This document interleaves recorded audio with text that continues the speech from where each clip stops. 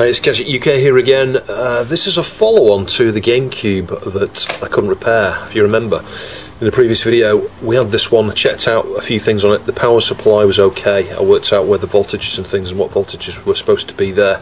Um, we tested out the uh, DVD. Well, it's not really a full DVD, although it will play full DVD size discs. Actually, you can modify the tops of these to do that. I think Brian uh, Beeps 73's done that to one of his. Um, but yeah, the DVD unit was working okay, but it just wasn't booting. Now, after I uploaded that video, I started uh, looking at um, some of the stuff online. There are some partial, uh, well, there's lots of technical information out there. I was going to say schematics. There aren't really any schematics, I don't think, but there's lots of information about uh, some of the internals of this system. And one thing I started looking at was the BIOS because I couldn't quite work out where the BIOS was. At one point, I was considering maybe it was embedded within the CPU, but I don't think it is. There's a real-time clock chip on there uh, I forget, uh, it's just down near the, the, area that was damaged actually, where the uh, corrosion was. So I'm going to re-inspect there just to make sure I didn't miss any uh, traces and things around that area. But the thought that that chip could be faulty, the RTC chip that contains the let's say the real-time clock, but also the BIOS, and I'm guessing it's some sort of serial interface that it perhaps uses, uh, you know, to feed that to the CPU there. So in the meantime, I ordered this one, a second one, uh, now we'll test this first, I think, just to see what state this is in. I'm hoping this will boot at least. So, I mean, there's nothing lost here. If this boots, but we can't get this one booting, we can take the drive out of this one, stick it in that one, and I'm guessing everything will be uh, sweet. So, we should be able to repair at least one within this video here. But I'm hoping that we might just, you know, if we remove that uh, BIOS there and swap the one over from this, this might boot if we're super lucky. At least we then know what the fault is. Uh, still only going to have one of these fixed, but at least I've got something to go on there. I could maybe then investigate uh, how that BIOS works and see if there's any way I could uh, create something to replace the BIOS with. So we'll start by connecting this up. So we've got the power there. You can see that's come straight on actually. Switch that off. And the AV cable here it's uh, got the digital one there as well, which is uh, useful. Because you can get adapters for these now, I think, where you plug something into the digital thing there and you get HDMI out. But anyway, I might look at one of those at some point. And if you want to know more about the HDMI side, check out Modern Vintage Gamers channel. Um, because he's done uh, a few videos actually on those. So that's a good sign, it's uh, powering up. Let me just plug a controller in. And the reason we're seeing that screen is because uh, the uh, battery will have uh, discharged. So it came up there saying uh, you must set the calendar options first, so let's do that. Look at the year there, 2090. yeah, I'm not bothered about the exact time and date, let's just set the year so that that's okay. Finish. So the disc that was already inside was Zelda Wind Waker, and you can see that's pretty scratched up actually, that needs resurfacing. So trying it with uh, my Resident Evil Zero. Yeah, it's not doing anything, is it? I'm confused by that LED actually because yeah, you see this this was on originally. When I first switched it on, this lit. I think that's the power LED, but it might not be. It might be the drive access LED. It's just weird how the first time we switched it on, that came on, and now it's not on when it's spinning. So yeah, it's having a go at trying to read the disc. But it's not seeing the disc, so uh, yeah, it's going to be uh, a drive problem on this one.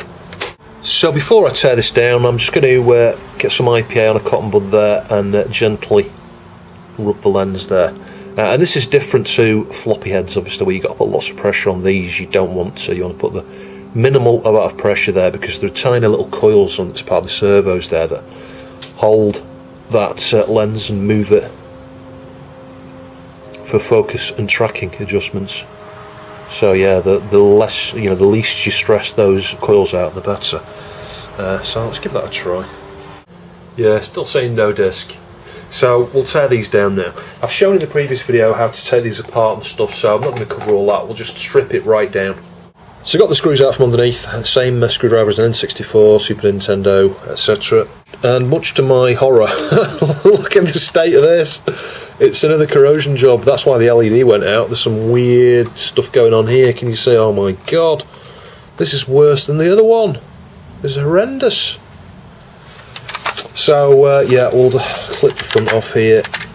Oh my goodness. What is it with these and corrosion? I suspect this has been got out of a skip or something. Yeah, someone's probably lobbed it out and then the bin men, you know, someone's reclaimed it. Look at the rust on there. Good God. I mean, the main thing is this one's booting, so at least if this has got some sort of, uh, and I think this will, this one will hopefully have a good chance of being repairable because um, it's booting, it's powering up. If anything, we're going to have a problem with the drive, maybe a problem with the power supply. That LED not being lit is worrying me a little bit. You know, I mean, look at that screw there, it's mega corroded. It's a miracle this thing's even booting, to be honest. Actually, uh, how does that come out? Screw there. Look at that! Oh my goodness! How is this working? How is this working? Right, well, I've got all the screws uh, from around the edge here and the one small ones down here. I mean, you can see how bad they are. Every one of them is like that. Horrendous. So if we just lift the drive out, yeah, that's how it's working. Is you know the the design is quite well here. If you look at it, the ground you know that goes around the edge here is sort of fairly tight, which has meant that the corrosion stayed off the main PCB. Although we might have a little bit down here around that area. I'm not sure. I mean, look how bad this is here. It's terrible.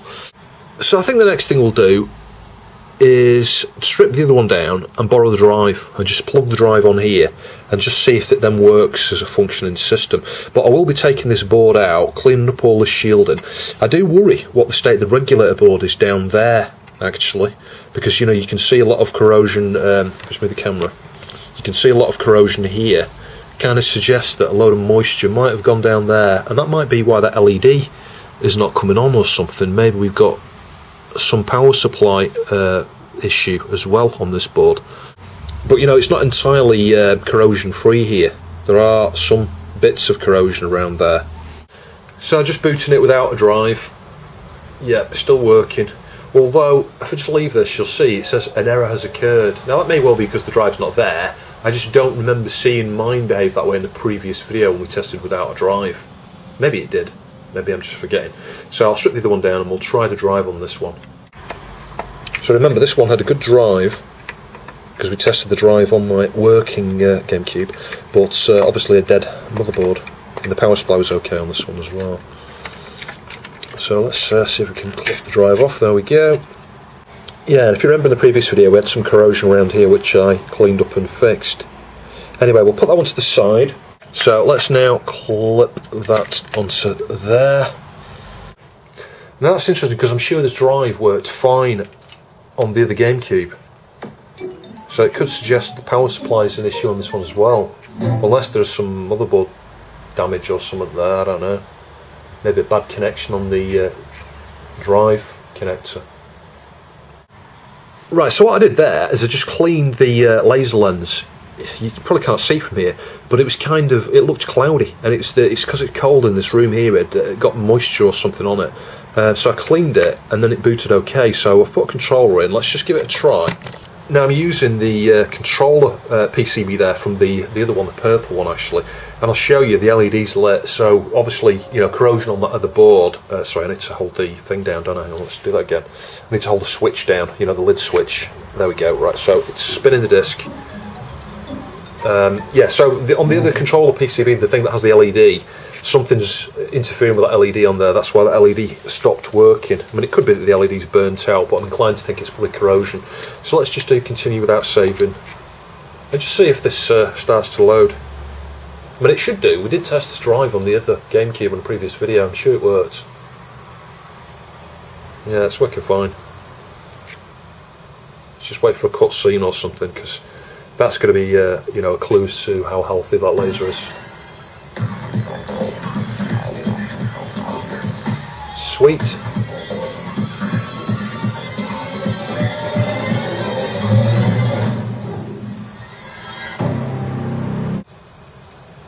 Doesn't sound to be struggling, you know, I mean that's loaded pretty quick there. As you can see, that's worked fine. Yeah, and you can see the LED light in there, so, you know, let's say the corrosion around here could have caused the issue with the LED. In fact, it's the ribbon. Can you see that? Look at that ribbon. It's similar to that last one where, you know, it's all tarnished here, but I can clean that up. I might just do that first, actually, just to make sure this is working. So I'll start by just going over this with a cotton bud, actually. We'll just try and go over all the PCB here to clean any contaminants off it. I'll get the toothbrush uh, onto this as well in a second. It'll help get rid of any strands of cotton that I managed to attach to the solder points and things here, but also get in between the connections and things as well. The battery probably needs uh, replacing on this. And it looks alright. I think the, the contact's just a bit corroded there. The battery kind of looks okay. So we'll get the toothbrush uh, onto this now.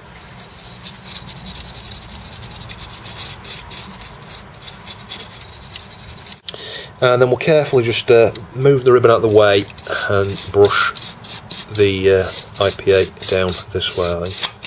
It's just use the fiberglass pen on a few bits here, perhaps where we see corrosion. I mean, that's not going to make any difference, I don't think. The solder's kind of gone weird there on that bit of the ground. But nevertheless, we can uh, have a go.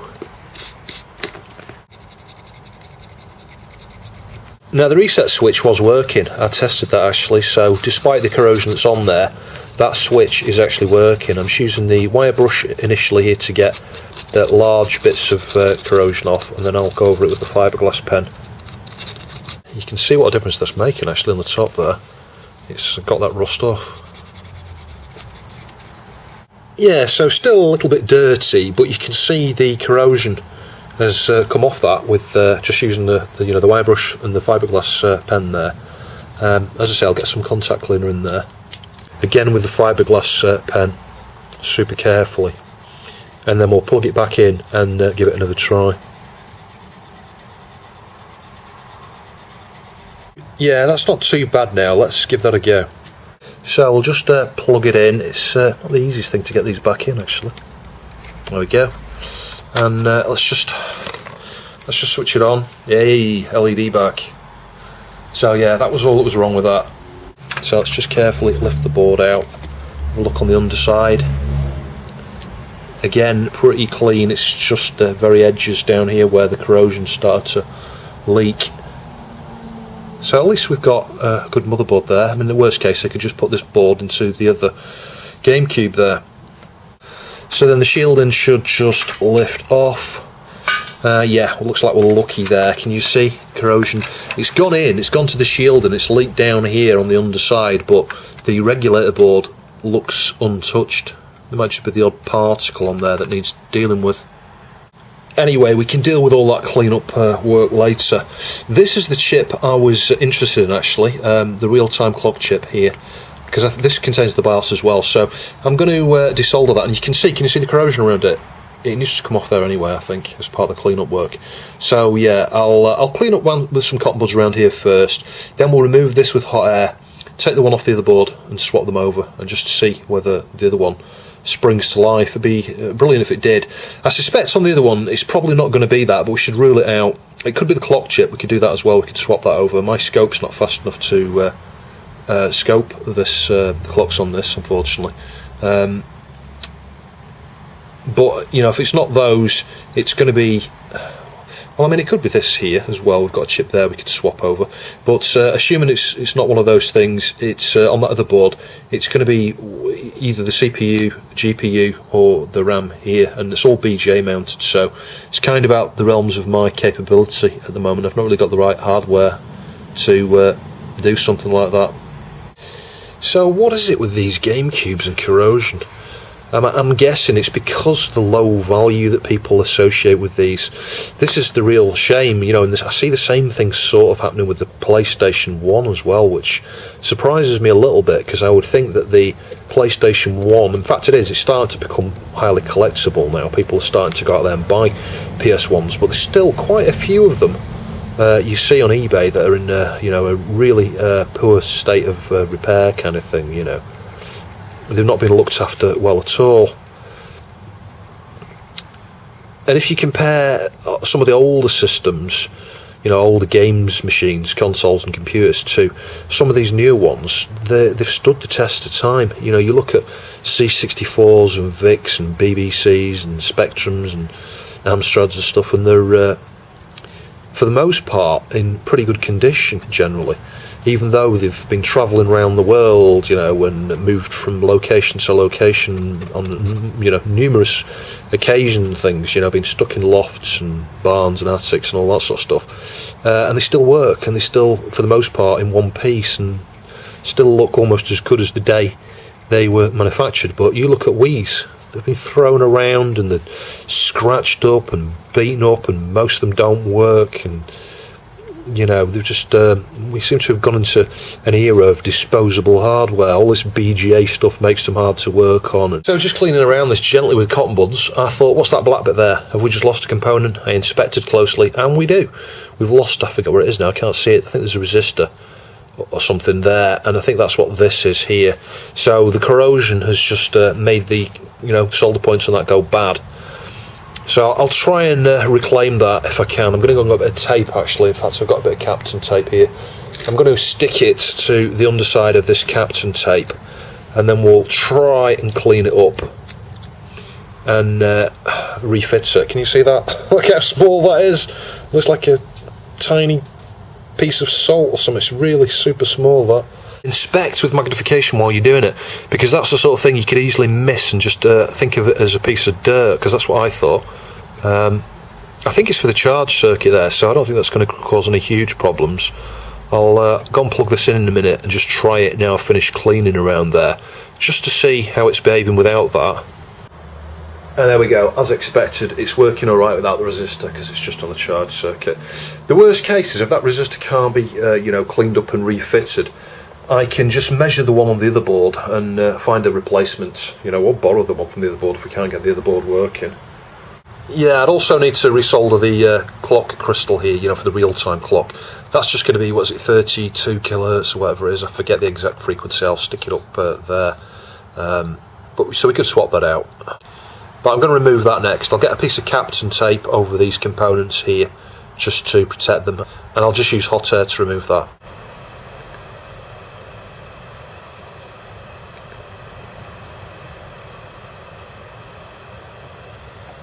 Oof. Yeah, there we go. Off. It kind of went uh, quite quickly, that actually. It wasn't moving at all, and then suddenly it just went. So just very carefully put that onto the ESD mat. So this is the other board, and whilst I'm doing this, a thought has just crossed my mind. Um, now, if you think back to when these chips are used in things like the PS3 and the Xbox and stuff, this signature, you know, I'm just wondering if the um, BIOS is linked to the CPU and the GPU in any, any kind of way. Uh, that's possible. Um, well, we'll know at the end of this video because I think what I'll do is I'll swap them around entirely, but then I might have to swap them back if neither of them work afterwards. Um, so we'll find out one way or the other. So there we go, the BIOS is removed from the, this board that doesn't boot, black screen. So I'll clean up these pads with some uh, flux and desolder braid and we'll get the one off the uh, black GameCube on there. So I've got some flux on there, I'll leave the Kapton tape in place. It just makes it a bit easier. Uh, sorry, it's very hard to do this. so small.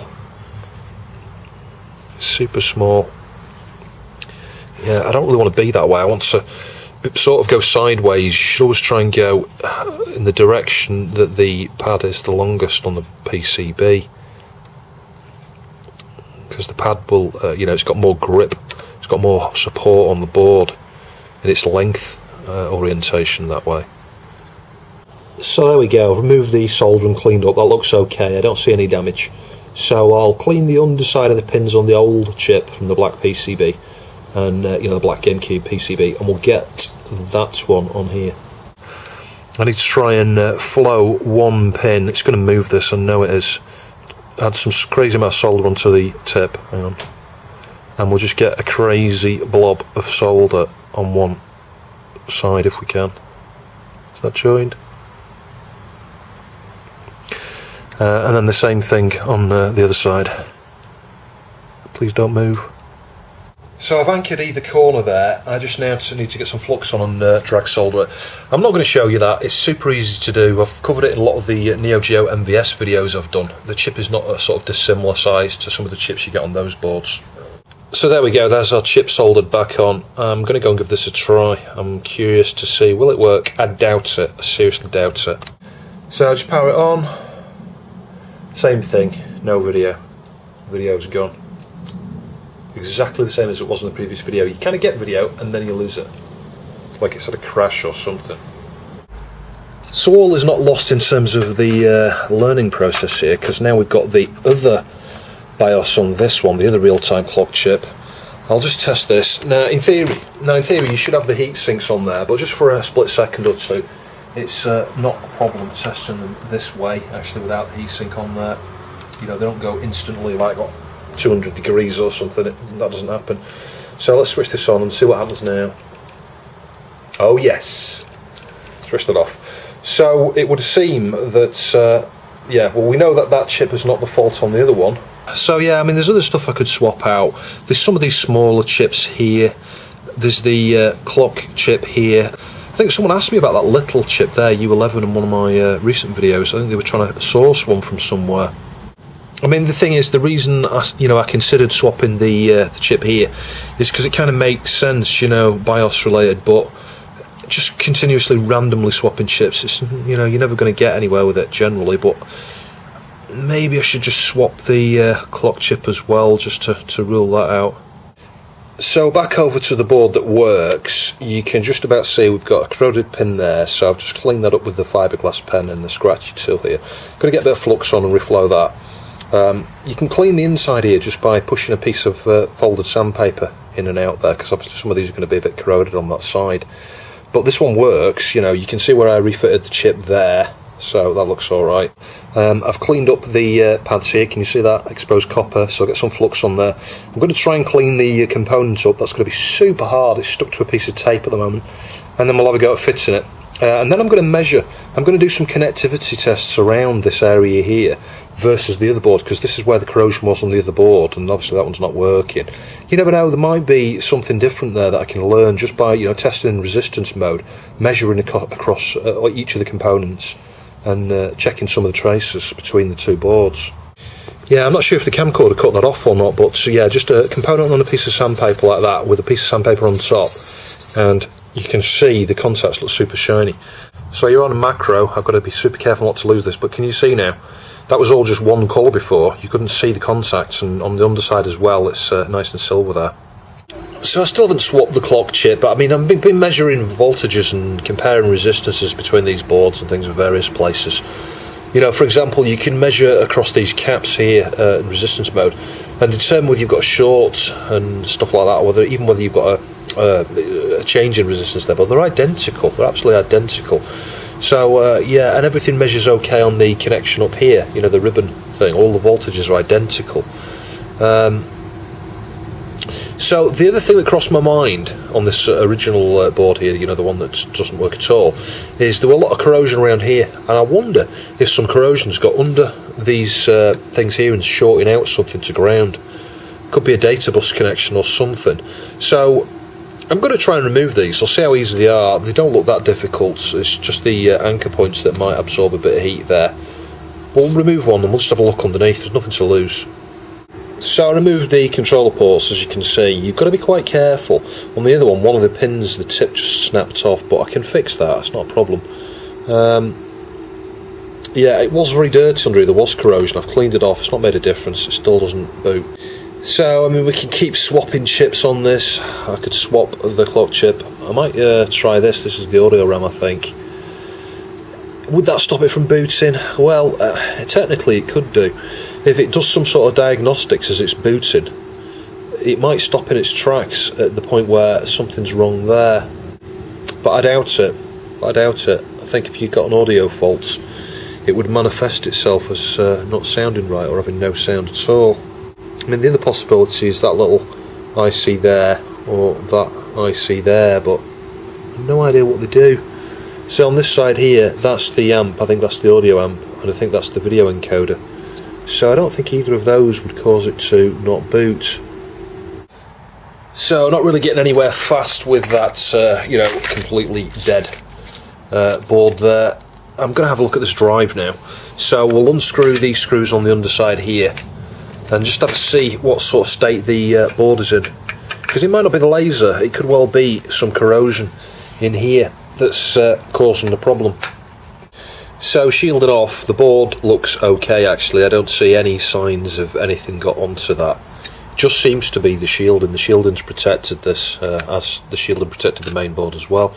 I mean, we don't know about the top side of the board. That's a possibility. Uh, I'll see if I can dismantle this further just so we can have a look at the uh, top side of the PCB. Well, this is interesting. I pulled out that flat flex. Can you see some corrosion on a few of the pins there? So that might be why this isn't working actually.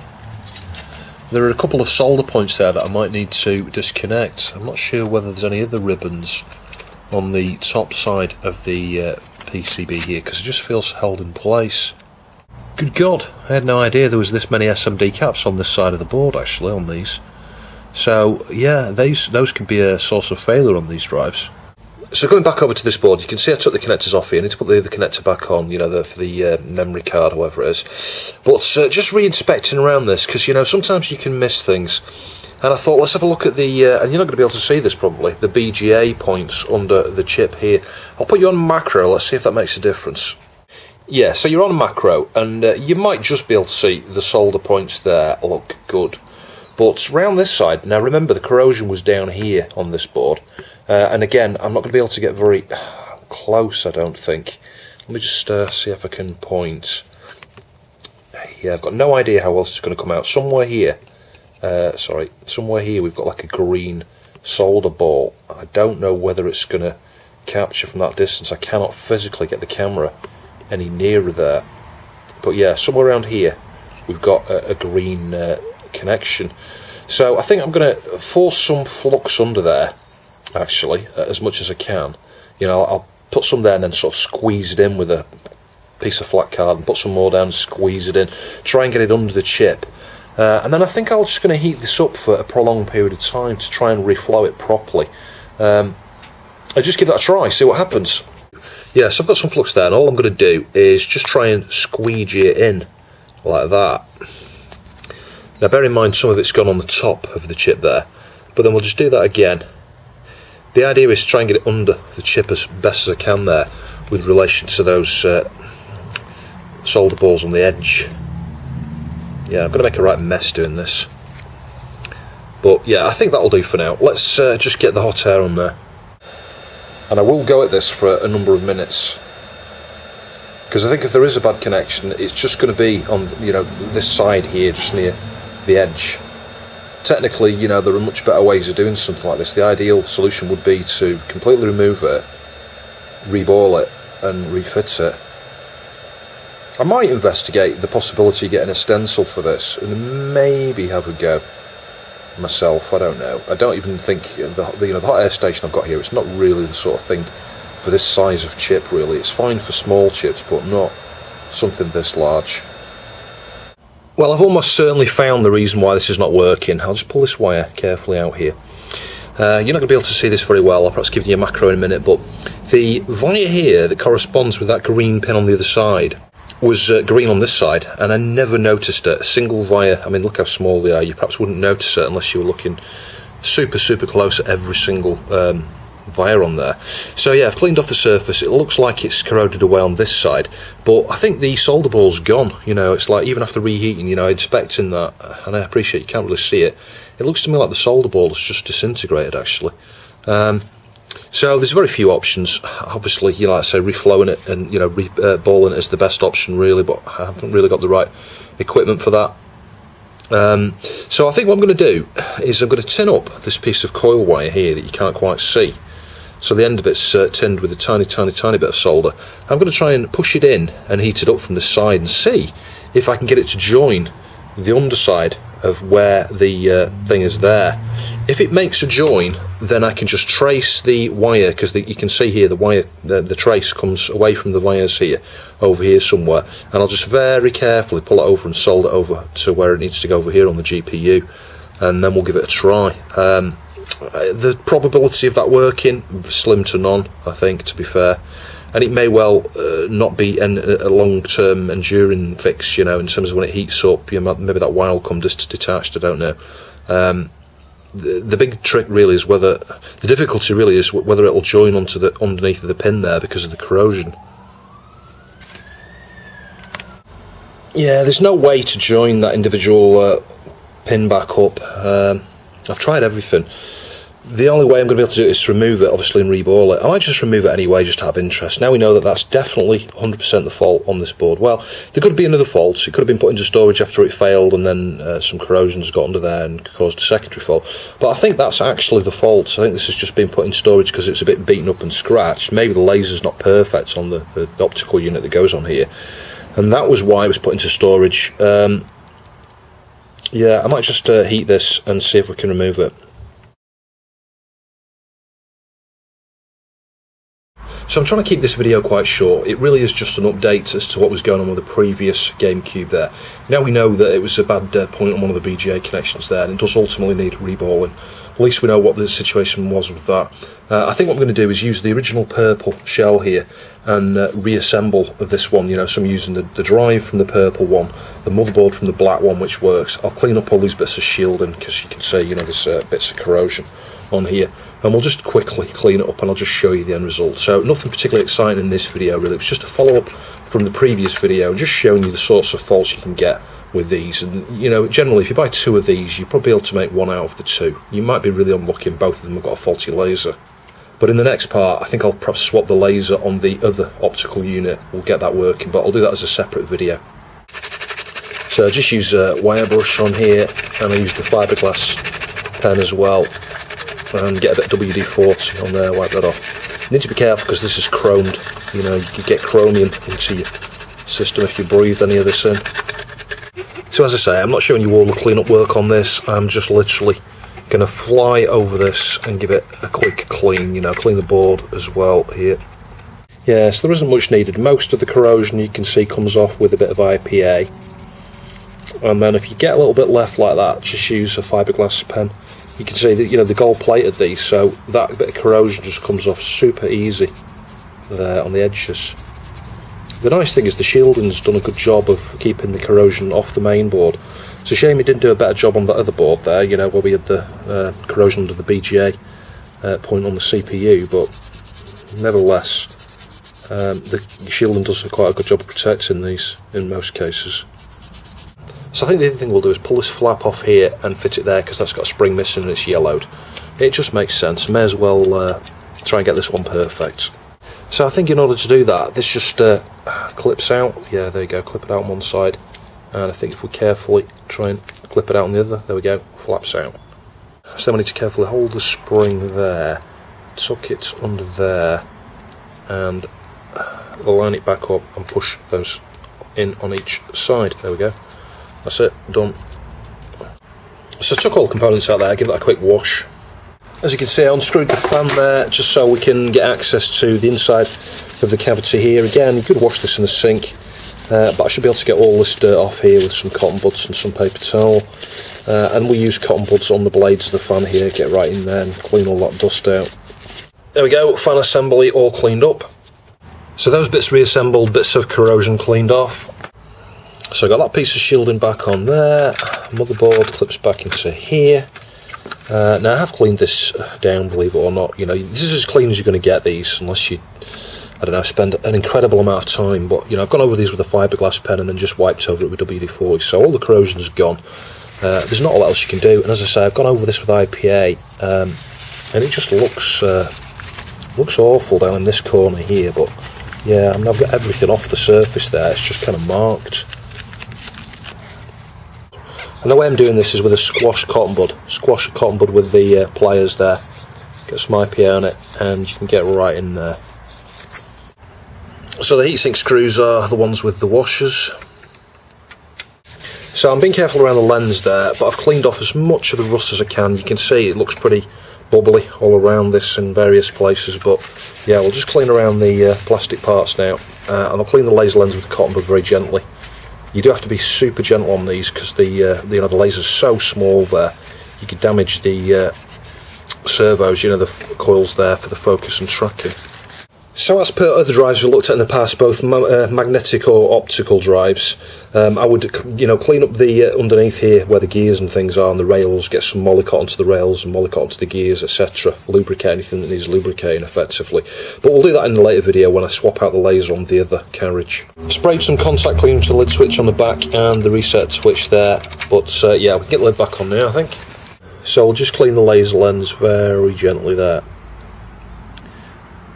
And the game that came with the black one there, um, Wind Waker, Wind Walker is it called? I don't know, Wind Waker, it works.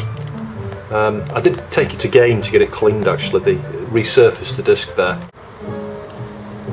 But yeah, this system is working fine, sweet. So things haven't worked out too bad. You can see the uh, you know the one from the black unit here. Look how rusty this one was. This one's far worse than the other one, I think. It's interesting that they both had corrosion. Um, I just suspect that because these are not valued very highly, they just get stored in garages and attics and stuff, you know, uh, in really damp locations. But I mean, you can see the shield on that one's horrendous. But we will revisit this drive in a later video because I think this just needs uh, a new laser, and I've got some new lasers, I've just not got around to uh, testing them yet. Um, but it was also useful to be able to revisit this. Um, and uh, I'll see if I can point. Let's just see because we've got a bit better light here. Yeah, so yeah, so me not wanting to be defeated in terms of understanding of faults. I don't know if you're gonna be able to see it. Just about here, you've got a salt. There's a solder ball missing. You can sort of see balls all the way along. Um, I can't get any closer than that. You might be able to see a little bit better from that angle, but there is a gap. Yeah, trust me, there's a gap there where the solder ball has just disintegrated. And it corresponds with uh, you know the points under here. And you can see where I had to go uh, with a fine wire here trying to feed through the wire to try and get it to join onto the, the pin on the chip. But I think the pin is to the left of where the wire is so it's very difficult to try that approach. You can't get under the chip there to solder. So you would need to let's say remove it and, uh, and reball it so here's the final result. I gave it a clean up and a bit of a polish and stuff. It's come out really well actually. The front's not even too yellowed actually compared to some of these. It's immaculate all the way around. There's no marks or anything on it really. It's even the top there's not really scratched up. Um, the inside of the drive here was particularly dirty, you know, the plastic part. I had to spend quite a long time cleaning that up. But there was value in revisiting, uh, you know, the board that was originally inside this. At least I now know, I can sort of rest assured, I know what the fault is. The fault is that missing ball on the uh, BGA there under the CPU. I do hope you found the video interesting. Please like, share and subscribe and I'll catch you in the next video.